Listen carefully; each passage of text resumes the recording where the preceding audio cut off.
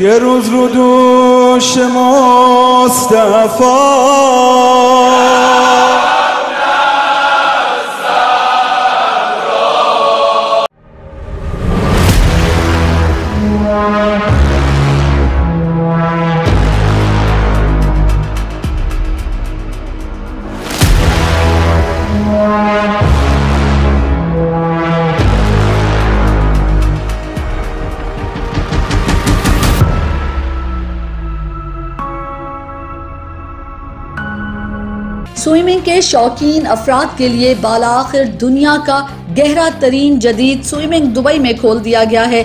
60 metre यानी एक सौ छियानवे फुट गहरे स्विमिंग पूल को गिनेस वर्ल्ड रिकॉर्ड ने तस्दीक करके दुनिया का गहरा तरीन पूल करार दिया है, जो सिर्फ़ पानी में तैरने के लिए रिवायती पूल ही नहीं, बल्कि वहाँ कई तफरी का सबब बनने वाली सहूलियात भी मैसर हैं।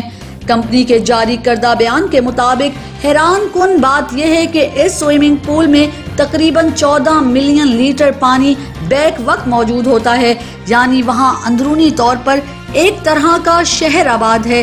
जहाँ फ्री डाइविंग और स्कूबा डाइविंग में दिलचस्पी रखने वाले अफराद की मदद के लिए तरबियत याफ्ता अमला भी मौजूद है। सोशल मीडिया पर दुबई के वली अहद की जानब से शानदार पूल की वीडियो पोस्ट की गई है, जिस पर सार्फिन की जानब से दिलचस्प तबसरे किए जा रहे हैं।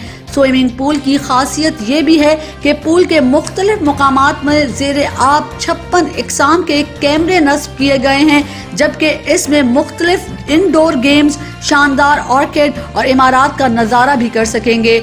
दुनिया का गहरा तरीन स्विमिंग पूल दुबई में वाक़ है, जिसका अफ्ताह डीप ड्राइवर दुबई के नाम से शहर के वली अहद शेख हमदान बिन मोहम्मद बिन राशिद ने गुजशत माह किया है, जबकि इसका दौरा करने के ख्वाह अफराद की उम्र कम अज कम 10 साल होना लाजमी है।